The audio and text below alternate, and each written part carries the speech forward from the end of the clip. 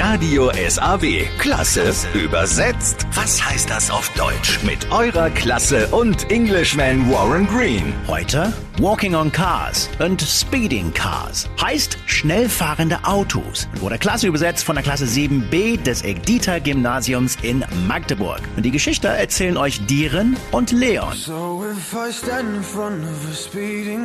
Wenn ich vor einem schnellfahrenden Auto stehen würde, würdest du mir dein kleines Herz geben? Sag es mir, steh zu uns beiden. So wird es jeder wissen. Also er möchte, dass sie zu ihm steht. Denn scheinbar tut sie das nicht. Wenn ich vor einem schnell fahrenden Auto stehen würde, würdest du mir sagen, wer du bist, was du magst. Wenn ich es richtig machen würde, was würdest du dazu sagen? Wie kann ich lieben, ohne dass es jemand mitbekommt? Er ist unglücklich. Er liebt sie. Und ich glaube schon, dass sie ein Paar sind.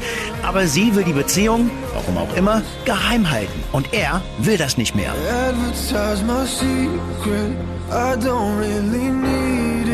Sag doch einmal ein Geheimnis, ich brauche es sowieso nicht.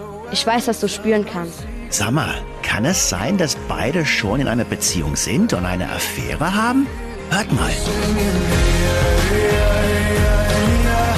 Wir singen. Das ist der sicherste Weg, um niemanden zu verletzen. Zurück zu ihm und dann gehe ich zurück zu ihr. Was meint ihr denn? Worum geht es hier? Ähm, ich finde, es ist irgendwie eine dramatische Geschichte über die Liebe. Dass man auch so etwas verzweifelt ist. Speeding Cars, Klasse übersetzt von der Klasse 7b des Edita Gymnasiums in Magdeburg, könnt ihr euch jederzeit anhören in der SAW Mediathek im Internet. Egal wo euer Schule ist, ob in Sachsen-Anhalt, Sachsen, Thüringen, Brandenburg oder Niedersachsen. Ich komme zu euch in die Klasse. Ihr müsst euch nur bewerben auf radiosaw.de.